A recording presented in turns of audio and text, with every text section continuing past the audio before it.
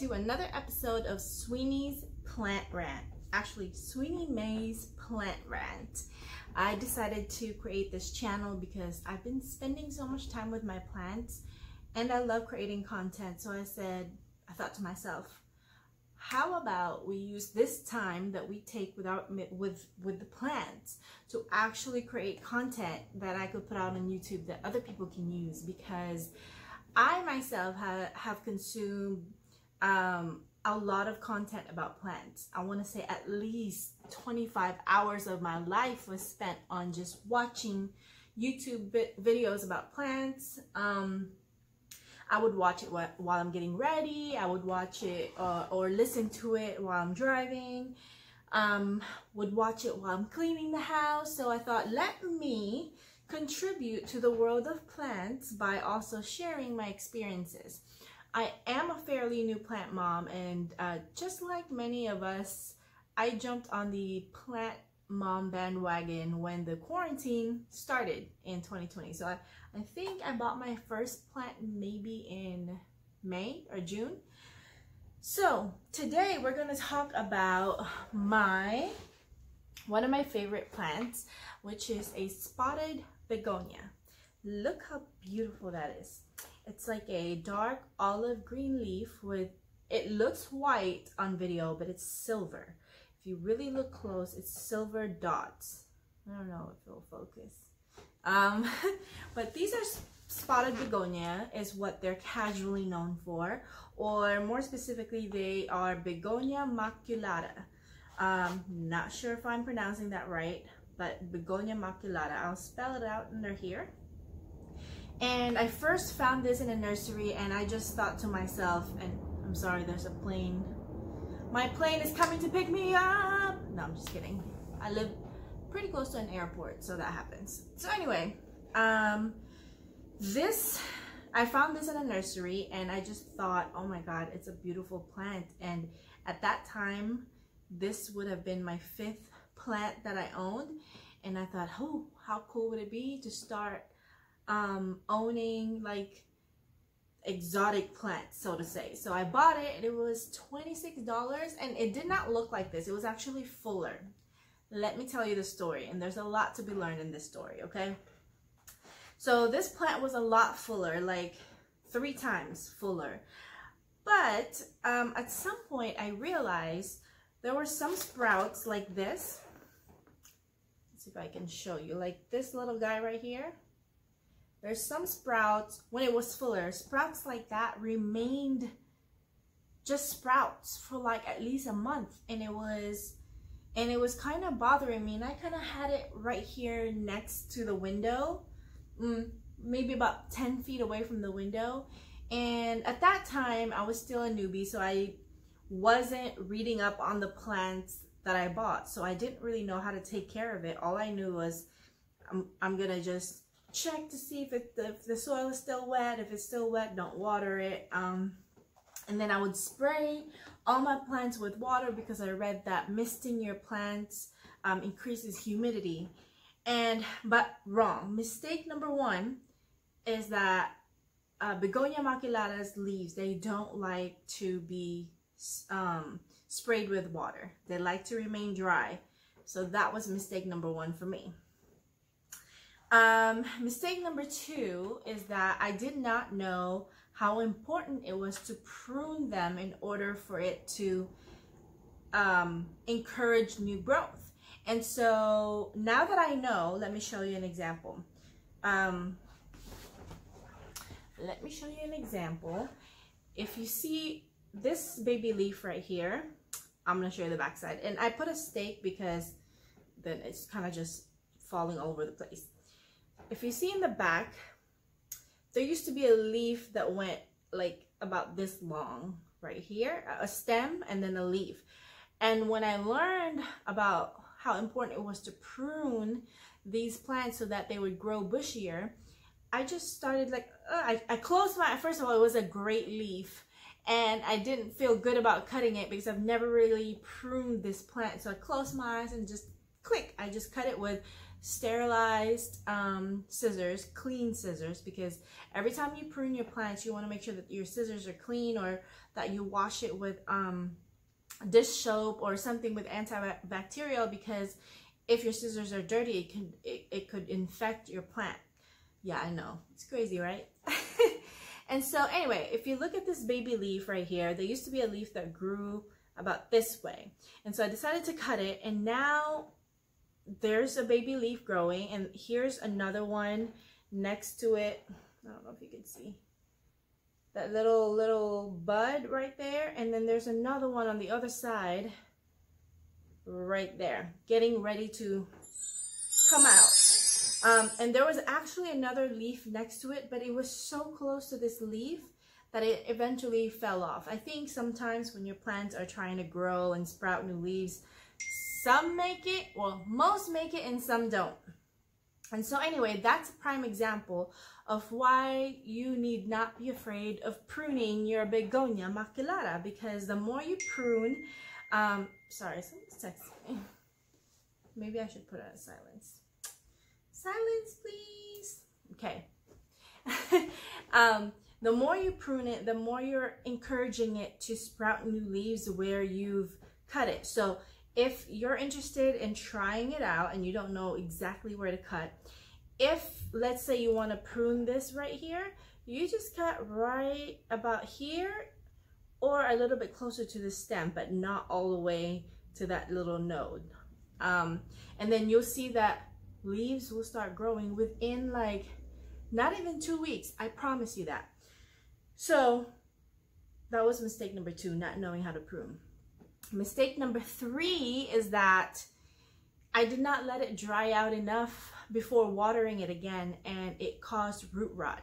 So because there were sprouts that wasn't quite growing, I thought to myself, and this at this time I've already been watching videos about plants and about this plant in particular and um, I started learning more about root rot and how to look for it and how to determine and how to just diagnose your plant. So I saw this video and I forgot his name. I would totally give him credit, but maybe I'll put it somewhere here. But there's a, this doctor, an actual like human doctor that uh, that explained that root rot should be the first instinct that you should have every time there's something wrong with your plant. So if you're diagnosing your plant, there's, ah, there's something wrong, it must be root rot. That's how he said it. And that's how I learned to like, ah, it must be root rot. And it doesn't, it's not that difficult to um, diagnose or look and see if you have root rot. I would I would lift the soil up for you right now, but I'm not prepared to do that. What I did was just uh, remove it out of the pot, and then I started kind of um, loosening up the soil to see what the roots are. And I, if when I edit this video, I'll add the photos I have. I believe I took some Instagram videos when I was cleaning its roots, but you know it's root rot when the roots are black and just look like they're fungus and when you pull them they just come off so easily and they tear off easily. Because a healthy root is super strong and if you guys watch my last video about the ivies that I re repotted you'll see roots are not supposed to be black. They're supposed to be like fleshy white color they're supposed to be nice and healthy and plump. So then if you inspect your plant and the roots are black first of all it could be soil yes but honestly, um, healthy, I'm trying to look to see if I can show some example. Healthy roots will, uh, will, will still show as white through that soil. Okay, here's an example. So if you guys see the rooting right there, even though it's in soil and you'd think maybe the roots would be black anyway, you see how it's still like fleshy color? Like that is a healthy root. Okay, now I can't put it back exactly how it was, and then it's probably angry at me right now. I'm sorry. I really do talk to my plants. Okay. You'll be okay. We have to show them so that they know how to take care of plants. Okay, totally crazy plant mom moment there. okay. So that's how you know that um, the roots are healthy because there's still that like light colored, really healthy looking roots. If that just made sense.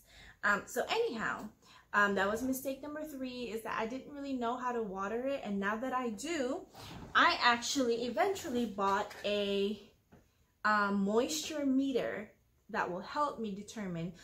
I kind of got sick. I have about 20-ish plants. And I kind of got sick of going around the house and sticking my finger in there to see if it's still wet. So I thought to myself, okay, this little thing is only $12 on Amazon. Um, and what you do is you stick it in there and then you want to stick it um, closer to the perimeter of the pot because what you want to avoid is puncturing the roots. Even though maybe you can't help it, but try your best to, to, to kind of um, estimate the best portions to stick it in where you're not ruining any root. So this one I just watered a couple days ago and it shows you that it's still moist. So, and I just stick my about, I stick it in about two inches deep. Okay, that sounds really, anyway, I'm talking about moisture meter. Um, so anyway, this plant used to be really, really bushy, like I said, but it had it, root rot and then I had to clean it out. So when you find a root rot um, in any plants, what you have to do is just try your best to remove all the soil so you can wash it. Um, you can wash it and then clean it with antibacterial soap. A dish soap will do or hand soap will do because what you're doing is cleaning out the bacteria that's causing the, uh, the root to rot. And uh, you wash it off like you're giving it a good shampoo. Like imagine this was, and the roots will start to kind of feel like this if they were um, sort of in the rotting stage because you know our hair is very um, well most hairs i don't know about you guys but my hair is kind of soft and smooth and when the roots kind of feel this way it's kind of rotting because the roots should feel thick and a little coarse and with texture you know what i mean so when you start doing this to the roots and then it just falls off like hair. Those roots are rotting so don't worry about it. It's gone. It's dead anyway and the more you keep it the more it'll crawl up to your other healthier roots and infect the entire plant. So what you want to do is take um take a, a an antibacterial soap and wash it. Shampoo the roots and remove all the soil and just really take your time.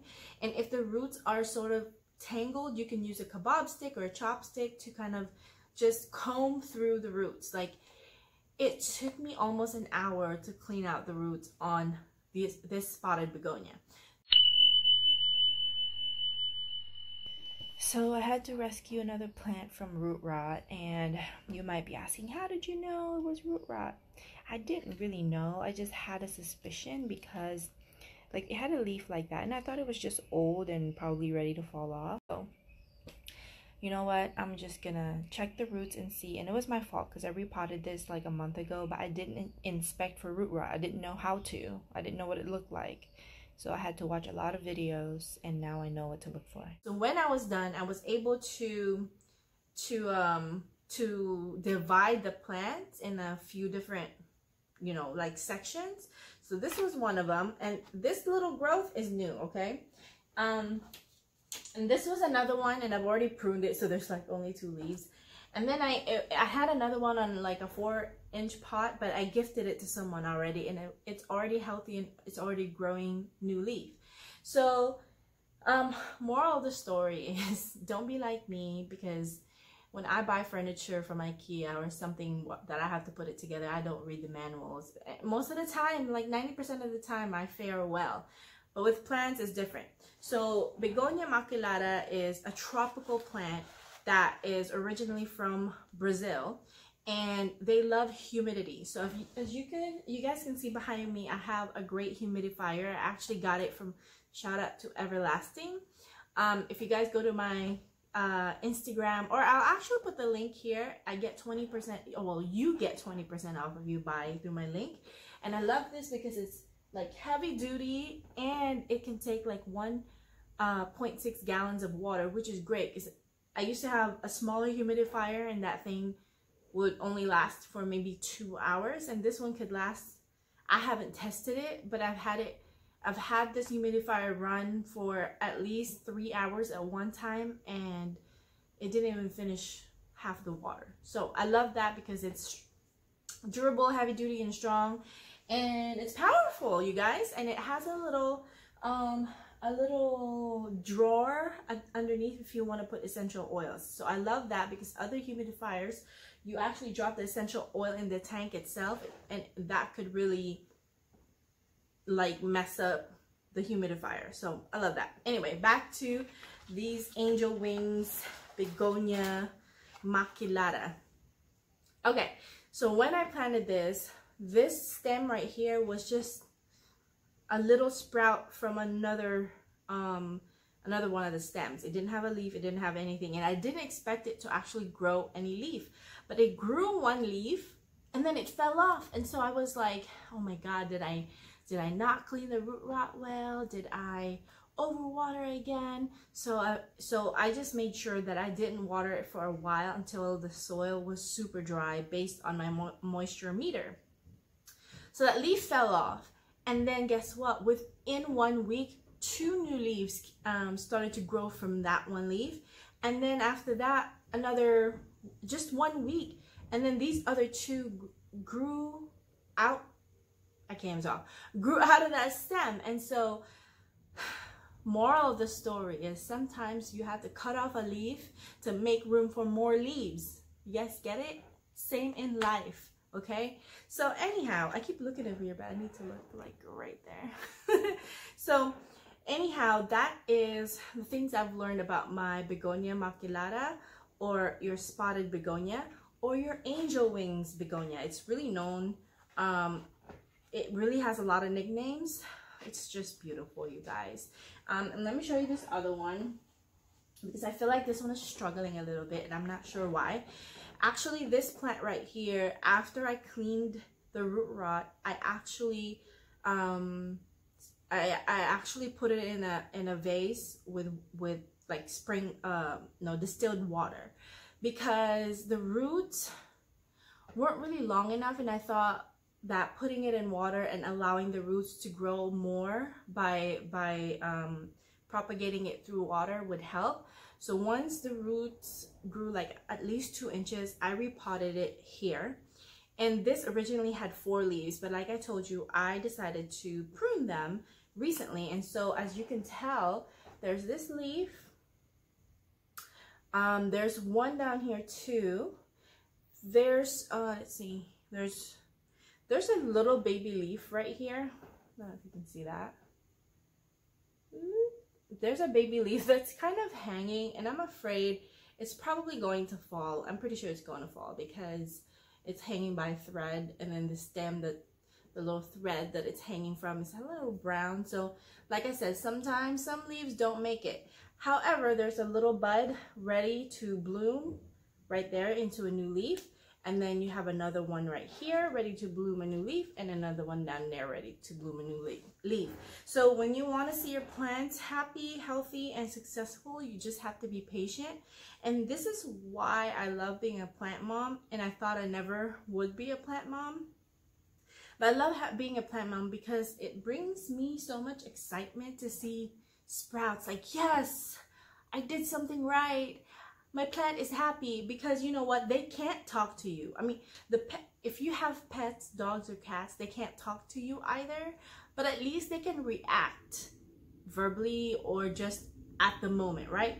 Your plants take a minute to react to the things that you do. So if you fertilize it you won't really see the results of it for an, a week or two. If you're killing it you don't really know you're killing it until it's too late. So and sometimes you can save plants which by the way, you can see this plant back here is dying, but I'm saving it. It's my one of my prayer plants and I left it in the sun accidentally when I left for the weekend. Anyway, um, that's for another video because this one is already like 20 minutes long. So that's what I can share with you guys about begonia maculatas. So don't be afraid of them. They're pretty easy once you get used to just how to pay attention to how wet the soil is, if it, you know, is it ready to be watered. Um, some plant moms actually prefer to wait all the way until the plants kind of wither just a little bit for them to water it because that is much safer for more, most plants to for for the plant owner to use that determination that it needs water when it starts to weep a little bit and that's when they water it for me i'm a, i'm i'm a little bit paranoid and and ocd with the watering every day i check the plants um because they all have a different watering schedule. And so every day I just take a moment to check them. Like, why not? What else am I going to do? You know, I work from home. I need a break. and I'll get up and just check on the plants. Are they still alive? Uh, uh, are they dying? do they need a little attention? So, anywho, these are my spotted begonias and I'm very, very excited. And also they're very easy to propagate. If you just cut it right underneath a node, and a node is like like where two stems meet cut it right underneath the node and stick it in the water oh I made a mess stick it in the water or stick it in soil and it will grow for you so I'm hoping that in about a month this is going to be super bushy I'm excited um, and I'll come back and report back and that's it you guys thank you so much for listening to my plant rant because I stay true to that. I really do rant about my plants. And thank you guys if you if you enjoy this video and you know of someone that could use this video, share it. Don't forget to like it or comment down below if I've missed anything. I'm not claiming to be an expert. I'm just sharing with you my own experiences and the things I've learned. Um, and so if I missed anything about these plans, comment down below, um, like and subscribe, and I'll keep coming back every week with new content about Sweeney Mae's plant rants. Bye guys!